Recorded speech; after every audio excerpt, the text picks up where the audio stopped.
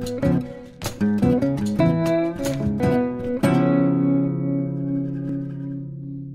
Ahoj moi drodzy, wiem jak z tymi moimi podsumowaniami bywa, pojawiają się zazwyczaj albo w połowie kolejnego miesiąca, albo i pod koniec. No już tak jest, że albo nie mogę się zabrać, albo o tym zapominam, ale mam nadzieję, że tak czy siak cieszy Was, że w końcu one trafiają pod strzechy i oglądacie je mimo wszystko z całkiem przyzwoitą przyjemnością.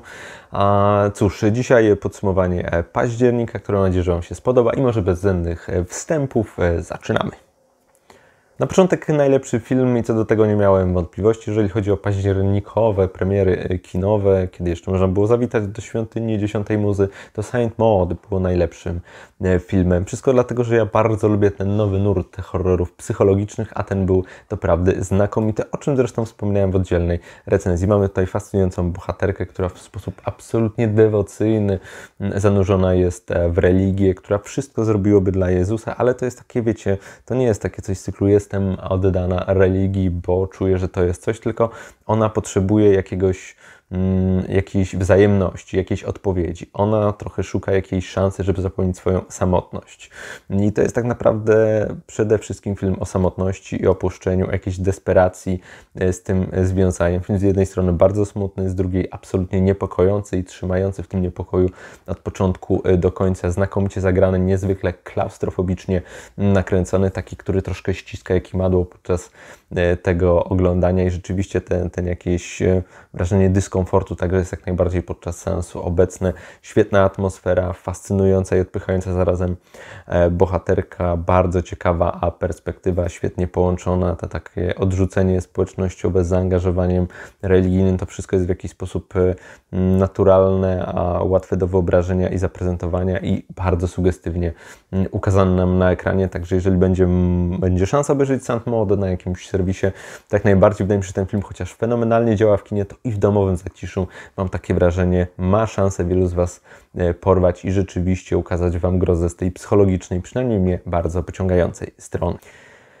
kwestii książki w tym e, miesiącu było dużo książek, więc trudno było wybrać e, najlepszą. Miałem kilka propozycji e, w głowie, chociażby klimat Tomy był bardzo, bardzo blisko, ale koniec końców wybrałem propozycję, która świetnie uderza we współczesne problemy związane z ogłoszeniem wyroku Trybunału Konstytucyjnego i nie tylko. Mowa rzecz jasna o Złap i ukręć web, czyli reportażu Ronana Faroła o Harvey Weinsteinie i jego wykorzystywaniu kobiet. Z jednej strony to jest reportaż, który absolutnie wciąga, którego nie można się oderwać, świetnie napisany, trochę przypominając takie kapitalne filmy śledcze, które po prostu chce się oglądać, chce się poznać tajemnicę, rozwiązać zagadkę. Z drugiej strony to jest książka, która bardzo dobrze oddaje sprawiedliwość ofiarom, kapitalnie pokazuje taką zmowę milczenia, takie możliwości Harvey'a Weinsteina do tego, żeby te wszelkie kwestie w jakiś sposób tuszować, e, żeby przekupić odpowiednie osoby, żeby ta zmowa milczenia wciąż trwała. Jest to świetnie pokazane na przestrzeni e, całej książki i muszę przyznać, że tu kapitalnie udało się połączyć bardzo różne kwestie Ronowi Faraowi z jednej strony absolutnie wciągającą treść, z drugiej sprawiedliwość dla ofiar i pokazanie jak to, jaki to jest spisek, który krzywdził e, tak wiele osób i którym niszczył karierę i niszczył, niszczył życia. Z jednej strony fascynująca, z drugiej bardzo bolesna. Moim zdaniem absolutnie lektura obowiązkowa. Mm, reportaż, ostatnio mało czytam reportaży, muszę to przyznać, ale to był zdecydowanie jeden z absolutnie najlepszych, jeśli nie najlepszy w tym roku, chociaż na przykład Płuczki też były mm, absolutnie znakomite, więc serdecznie Wam polecam. Świetna rzecz, chociaż domyślam się, że nie, nie dla każdego łatwa w przekazie i łatwa w przyjęciu pewnych emocji, bo tu emocje silne i trudne jak najbardziej są obecne, ale mimo to serdecznie Wam polecam. Muszę przyznać, że trochę trudno było mi e, wybrać rozczarowanie miesiąca. E, miałem pewne wątpliwości, czy tu wrzucać kogoś na siłę, czy nie. I koniec końców daje film, który jest niezły, ale mimo wszystko spodziewałem się po nim więcej. Mowa o gnieździe e, Shona Durkina w znakomitej obsadzie, bo ani Judo ani Kerry Kun nie mogę nic zarzucić. Zagrali absolutnie fenomenalnie. Ta opowieść o takiej, takim rozpadzie rodziny, o takich fasadach, samooszukiwaniu się, wybujałych ambicjach, które zderzają się boleśnie z rzeczywistością. To niby są tematy tematy, które mnie bardzo interesują, które moim zdaniem są świetne do eksploracji, a z drugiej strony w tym filmie jakoś takie wydają się, nie wiem, mechaniczne, odtworzone. Mam wrażenie, że w wizji Shona Druki na prócz znakomitego aktorstwa nie ma takiego naprawdę jakiegoś haczyka, który mnie do tego filmu przyciągnął, który mnie przy nim zostawił, który mnie tak zaintrygował i tak wciągnął, żebym, żebym szedł przez to wszystko z fascynacją, z żywym zainteresowaniem. Od pierwszej minuty miałem wrażenie, że wiem, jak to się skończy. Od pierwszych minut może bardziej nie przesadzajmy. No ale i tak mniej więcej to się skończyło wszystko.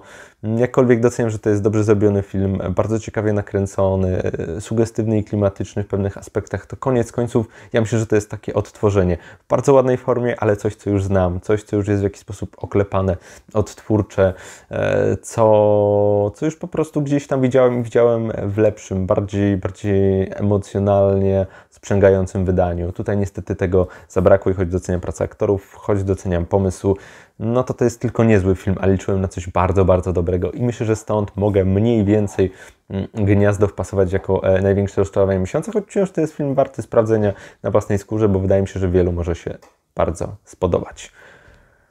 Co do niespodzianek, tym razem postanowiłem polecić Wam coś, co jest na serwisie streamingowym e, na HBO Go. Swego czasu ten film był nominowany do Oscara, o ile się nie mylę, nominacja została Emelia McCarthy i Richard E. Grant. Mowa o Can You Ever Forgive Me, czyli po polsku e, Czy mi kiedyś wybaczysz, coś takiego. Ten film jest dostępny na HBO Go i to jest film o pewnej pisarce, pisarce biografii Lee Israel, która jest w takim no niekoniecznie dobrym momencie swojego życia, nadużywa alkoholu, e, jest taka bardzo zamknięta w sobie, w swoim domu, e, stroni od towarzystwa, straciła właśnie pracę, nie ma środków do życia, jeszcze tego choruje jej kot, no jest na takiej absolutnej krawędzi. No i nagle wynajduje sposób, dzięki któremu może się utrzymać e, i może mieć w miarę takie dostatnie życie, mianowicie jest to podrabianie listów znanych ludzi. Jako biografka ma doświadczenie w szukaniu pewnych informacji, w oddaniu pewnych e, kwestii mm, osobistych i tutaj właśnie dzięki pewnemu splutowi przypadków zaczyna podrabiać te e, listy. I tutaj mam właśnie jej rzeczywistość i, i bardzo ważny portret przyjaźni e, z postacią graną przez Richarda i Granta. Łączy ich tak naprawdę na początku tylko alkohol, a potem to jest taka w sumie przyjaźń, że oboje razem, że tak powiem, balują, oboje razem spędzają wolny czas w oparach między innymi alkoholu, ale tworzy się z tego coś więcej, coś bardzo e, ciekawego. I jeżeli chodzi o ten film, to nie jest standardowa biografia, co mi się w nim bardzo podoba. Tam jest dużo bólu, dużo smutku, dużo takich e, nut rozczarowania, niespełnienia. To nie jest taka e, postać od zera do bohatera. Izrael cały czas ma jakiś problem, ma jakiś ścisk. I chociaż końcowe sceny mogą wskazywać, że powoli coś tam się dzieje innego w jej życiu, to tak czy siak można odnieść wrażenie, że to jest taka smutna biografia. Mamy, mamy osobę, to jest osobie wykluczonej, osobie samotnej, osobie zamkniętej w sobie, która nie potrafi pewnych emocji wyrazić, e, która uważa, że odtrącenie jest najprostszą, mm, najprostszą formą komunikacji z ludzkością, która jej zupełnie nie rozumie i nie docenia. I po części to jest jej wina, jak najbardziej.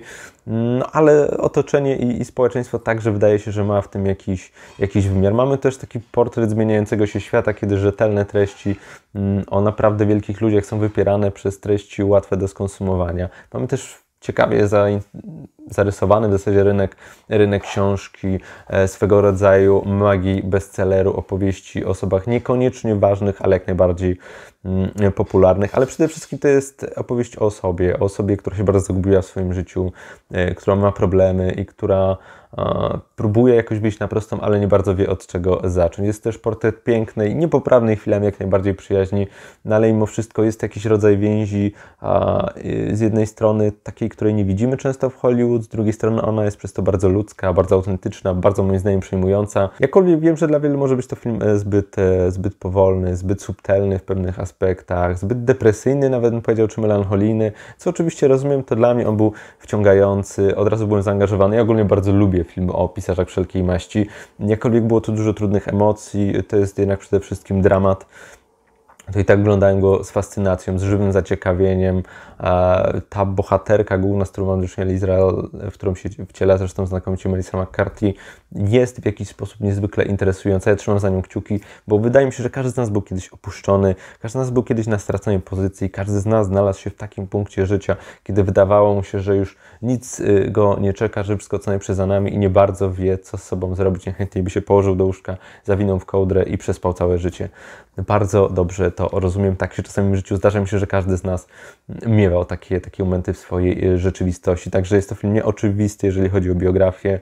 Mm, jest emocjonalnie czasami bardzo trudny, ale mimo wszystko polecam. Can you ever forgive me? Czy, my, czy mi kiedyś wybaczysz, albo czy mi kiedykolwiek wybaczysz? Dobrze nie pamiętam. W każdym razie dostępny na HBO Go. Świetnie zagrany, bardzo ciekawie opowiedziany, niezwykle intymny i emocjonalny. Serdecznie, serdecznie Was do niego zachęcam. No i cóż, to by było na tyle. Mam nadzieję, że Wam się podobało, że miło Wam się tego słuchało. Jeżeli tak, to subskrypcja, czy łapka w górę mile widziana, czy nie wymuszana. Zapraszam Was też na Instagrama, tam codziennie coś nowego kulturalnego. Mam nadzieję, że kolejne podsumowania miesiąca będą prędzej niż później, albo że w ogóle się pojawią i że sprawią Wam przyjemność. A tymczasem kończę, już nie przedłużam. Widzimy się wkrótce. Do zobaczenia. Na razie. Cześć.